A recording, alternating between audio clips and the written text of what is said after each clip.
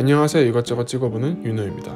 자 오늘은 최근에 제가 요 레코더 TX660에 대한 이야기를 한번 했었죠. 어, 이 레코더 같은 경우에는 제가 근무하고 있는 회사에서도 쓰는 제품이기도 하고 또 그렇기 때문에 더더욱 성능을 믿고 구매를 한 제품인데 이상하게 제가 집에서 사용했을 때랑 회사에서 음성 파일을 받아와서 들을 때랑 차이가 좀 있는 거예요. 아무 설정도 건드리지 않은 채로 제가 집에서 사용을 했을 때는 뭔가 좀 약간 날카로운 소리라고 해야 하나?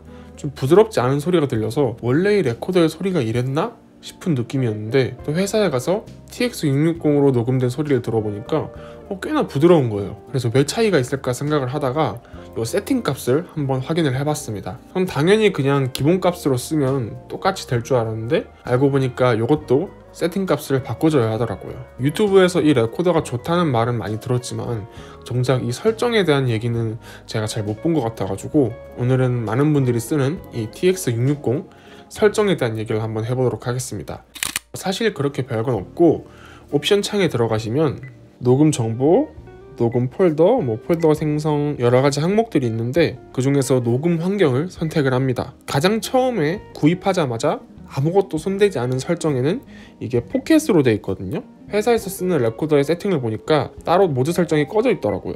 그리고 가장 중요한 게 마이크 감도입니다. 처음에 구매를 하시면 마이크 감도가 기본 중간으로 되어 있어요.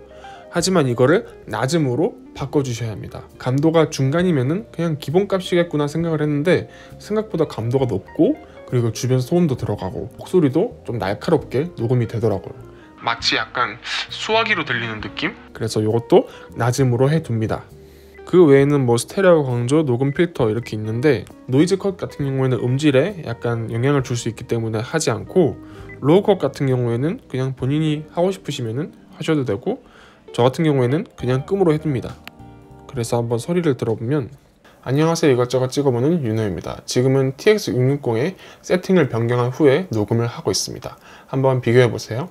안녕하세요 이것저것 찍어보는 윤호입니다. 지금은 TX660의 세팅을 처음 샀던 그대로 해서 녹음을 하고 있습니다. 한번 여러분도 듣고 비교해보세요. 자 이렇게 세팅을 바꿔서 한번 녹음을 해봤는데 여러분들이 듣기엔 어떠신가요?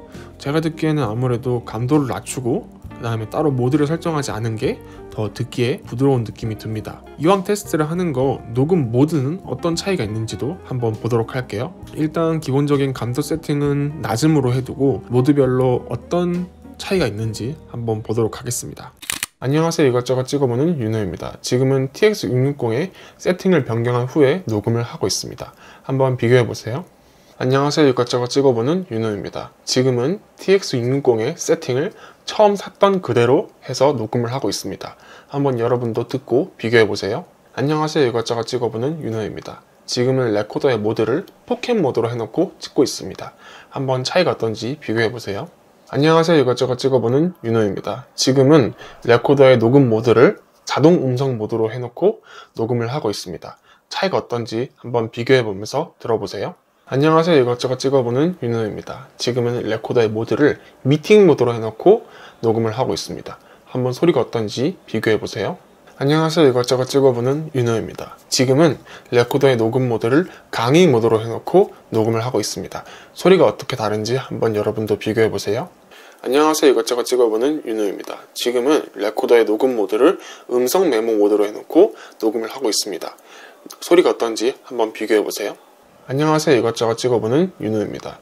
지금은 레코더의 모드를 인터뷰 모드로 해놓고 녹음을 하고 있습니다. 차이가 어떤지 한번 비교해보세요. 자 이렇게 오늘은 TX660의 이런 자잘한 설정에 대해서 알아보았는데요. 제가 생각했을 때는 가장 좋은 건 그냥 감도를 낮음으로 해놓고 그 다음에 다른 모드들은 전부 끄고 녹음하는 게 가장 좀 듣기에 무난한 것 같습니다.